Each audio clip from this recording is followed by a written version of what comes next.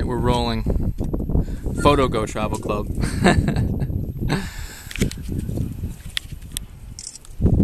this elephant's about, I don't know, 15 feet away from us.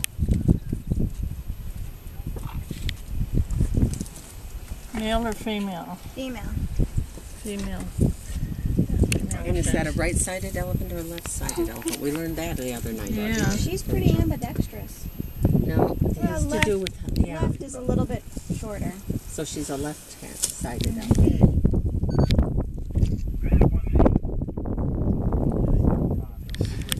Oh, that looks tasty. Yummy. Mmm.